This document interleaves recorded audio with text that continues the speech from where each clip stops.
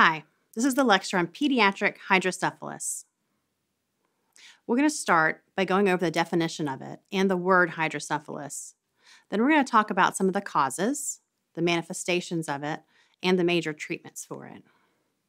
Let's start with the definition, or rather the word.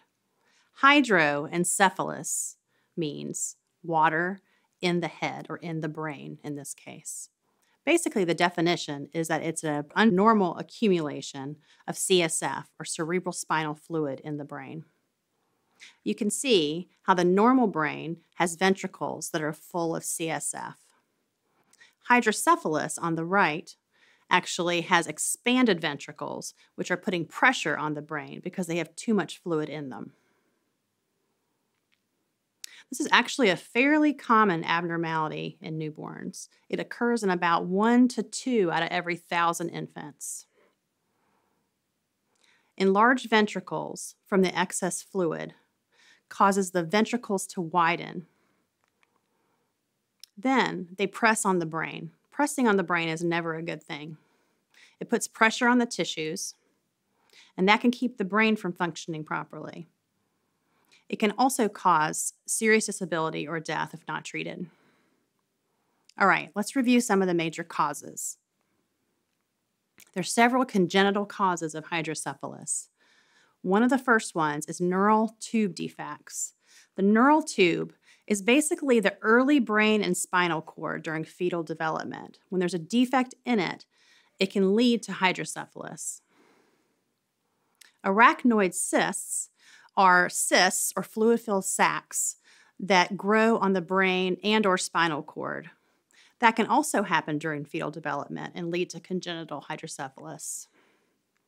Dandy-Walker syndrome is a congenital brain malformation that affects the cerebellum and the ventricle near it. Arnold-Chiari malformations are a group of deformities of the posterior fossa and the hindbrain which is where most of the cranial nerves are found. And finally, congenital syphilis can cause congenital hydrocephalus because congenital syphilis can cause ir irritation and inflammation of the fetal brain. All right, let's talk about some acquired causes for hydrocephalus. And this is fairly intuitive, I think, because basically it's anything that can cause pressure, bleeding, injury, or infection to the brain. The brain just does not have a lot of tolerance for abnormalities. And when they occur, more pressure can build up and more fluid can build up or get blocked. Intracranial hemorrhages, meningitis, brain tumors, shunt malfunctions, we'll talk about shunts in a moment, and just traumatic brain injuries can all cause hydrocephalus. All right, Let's review some of the common manifestations of a child who has hydrocephalus. In an infant, the first sign that may be noticed is an enlarged head circumference. Head circumferences should be taken at every routine checkup and also taken if a child comes in for an illness or injury that may have affected the brain. Early on, if a child has hydrocephalus, they may start displaying subtle signs of illness or altered mental status, such as irritability, inconsolability, lethargy, not wanting to wake up, or poor feeding is a really common sign of serious illness or injury in a young infant, especially. The frontal area of the head will eventually start protruding. A term for this is called bossing. The head would grow at an abnormal rate if the hydrocephalus was not treated. Eventually, it would be obvious. And as this happens, intracranial pressure will increase within the brain. A bulging fontanelle may be present with or without an enlarged head. The bulging fontanelle results from the hydrocephalus that causes that increased pressure in the brain.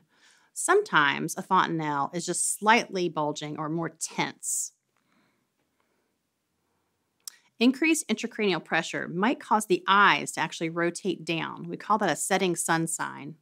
It's more common in infants and young infants. It looks as if they're trying to look at their lower eyelids. You see more of the white than you really should normally. The pupils may also be sluggish and unequal in response to light. The manifestations or signs and symptoms of hydrocephalus in a child or infant depends on several factors such as their age, the cause of it, the location of the lesion in the brain, and the degree of increased intracranial pressure that has resulted, as well as any resulting brain damage. All right, let's review the major treatment for hydrocephalus. Without treatment, death or permanent disability can occur. The main treatment for hydrocephalus is a VP shunt. The long word for that is ventricular peritoneal shunt. And that name is basically representative of how it goes through the body from the ventricles of the brain down to the peritoneum of the abdomen or the peritoneal space. Many people with shunts lead normal, healthy lives. These shunts are internal, they're inside the body. None of it is on the outside. The only downside is that they may require some revisions throughout life as the child grows. Shunts can also get blocked and need to be surgically repaired or replaced. So, anybody that has a VP shunt and comes in to a hospital or to a doctor's office or any kind of healthcare facility needs to be seen urgently if they're having any kind of signs and symptoms that might indicate a problem with the shunt, such as head pain or vomiting or other signs and symptoms of neurologic problems. This is another type of drain, an external ventricular drain, that is a more short term measure. It's used in hospitals, but nobody would go home with this. Basically, it's a drain that's on the outside of the child. So it would go from their ventricles, where the excess fluid is, and take some of the excess fluid out. It would help drain it. It would also help monitor the intracranial pressure. So it provides monitoring and fluid drainage. There's also a third type that is not a drain, but actually it's just a really quick way of monitoring increased ICP if somebody has hydrocephalus, especially from a trauma, head injury. And if there's a need to see what their ICP actually is inside their brain urgently, and that's called a bolt. That is sometimes put in by a neurosurgeon or intensivist in emergency department at the bedside. It's very dramatic. You may hear about it, so I just wanted to mention that. But the external ventricular drain and the ventroperitoneal shunt are the two major types of shunts used for hydrocephalus. If hydrocephalus does not resolve by using an external ventricular drain, they may need to convert it to a VP shunt. Because again, you wouldn't go home with this, but you can go home with a VP shunt, and many people live with them. This is the NCSBN Clinical Judgment Measurement Model. It's a framework being used in many next generation NCLEX exam questions and case studies.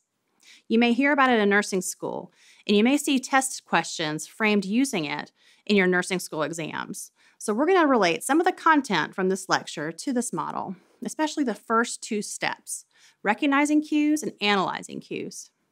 In order to recognize and analyze cues of potential hydrocephalus in an infant, you must first be aware of how to recognize an abnormally shaped head or an abnormally growing head.